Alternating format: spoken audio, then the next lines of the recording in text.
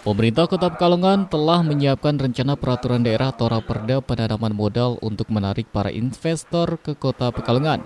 Dinas Penanaman Modal dan Pelayanan Terpadu Satu Pintu DPMP TSP Kota Pekalongan merapatkan pembahasan raperda ini bersama Wali Kota dan Wakil Wali Kota Pekalongan di Ruang Kresna Seda Kota Pekalongan pada Rabu 8 Juni 2022. Wakil Wali Kota Pekalongan Haji Salahuddin menyampaikan bahwa pemerintah Kota Pekalongan membuat perda penanaman modal ini agar Kota Pekalongan menjadi daerah yang menarik untuk investor datang. Tentunya dengan susunan peraturan yang jelas terkait dengan berbagai hal, perizinan, pemberian fasilitas, sarana prasarana, insentif, dan berbagai kemudahan bagi investor. Salaudin berharap Kota Pekalongan menjadi daerah yang menarik dan dapat bersaing memasukkan investor ke Kota Pekalongan. Intinya kita ingin bikin uh, peraturan daerah tentang penanaman modal. -huh. Bagaimana daerah kita menjadi daerah yang menarik untuk uh, investor datang, -huh. tapi dengan payung hukum yang jelas -huh.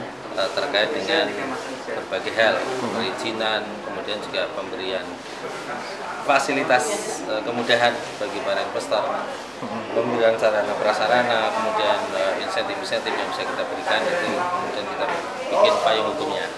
Karena para investor kan melihat uh, daerah yang paling menarik. Kita harus bersaing dengan daerah lain untuk um, mendapatkan investor yang bisa menjalankan perekonomian Sementara itu, Kepala DPM PTSP Kota Pekalongan, Beni Heri Triyono, menyampaikan bahwa harapannya ingin memudahkan pelayanan investasi sehingga dapat membuat lapangan kerja baru sekaligus meningkatkan ekonomi Kota Pekalongan.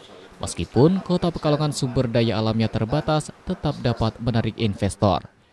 Yang pertama, eh, kita dalam ini DPM PTSW menyiapkan satu draft pelaksanaan peraturan daerah tentang penanaman modal hmm. untuk menggantikan uh, perda tentang penanaman modal yang sebelumnya yang uh, sudah lebih dari lima tahun pada nomor 8 tahun 2012. Hmm. Kali ini dimaksud untuk memberikan payung hukum uh, bagi kalangan uh, investor dalam melakukan investasinya di Kota Pekalongan memberikan kemudahan pelayanan, kemudahan berinvestasi, uh, juga menciptakan lapangan kerja di uh, Kota Pekalongan bagi masyarakat Kota Pekalongan sekaligus untuk meningkatkan pertumbuhan ekonomi di Kota Pekalongan. Uh. Ini upaya dari kita sehingga nantinya uh, dengan sumber daya alam kita yang terbatas namun bisa menarik minat investor dari luar daerah untuk menanamkan investasinya, untuk menanamkan modalnya di uh, kota Pekalongan. Hmm. Terkait perda yang baru ini sudah sampai ke tahap apa Pak? Agiat Lazardi, Batik TV melaporkan.